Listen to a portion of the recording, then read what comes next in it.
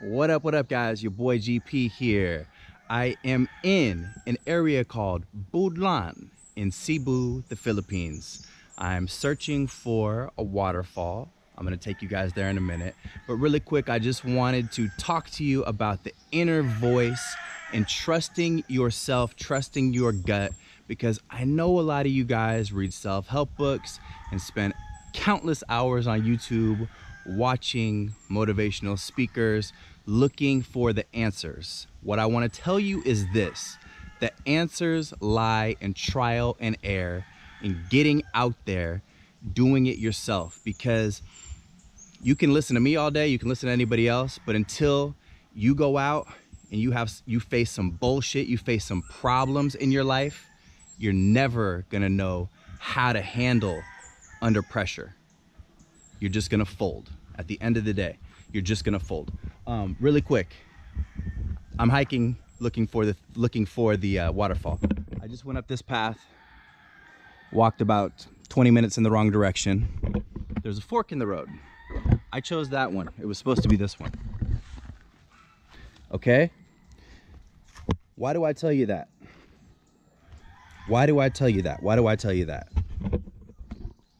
Dude I've been on the wrong path many a fucking times. Many, many, many times.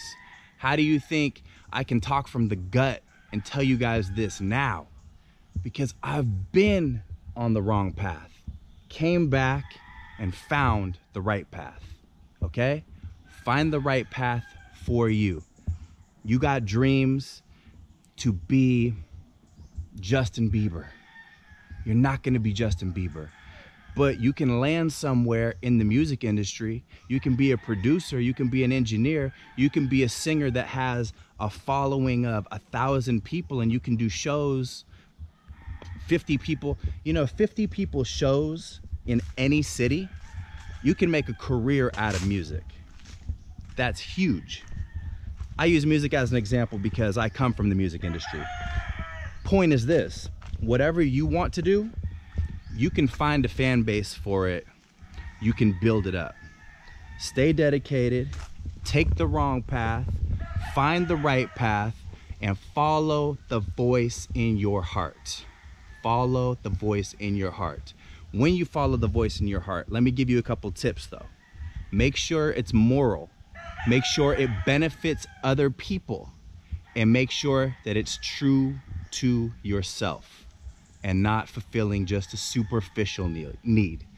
Make sure it's not fulfilling a superficial need. That way you can sleep good at night, you'll feel good about yourself, and you're not just trying to impress the next person. That's not what this is about. This is like a return to God, a return to your spirit. We work on our mind, body, and soul every day.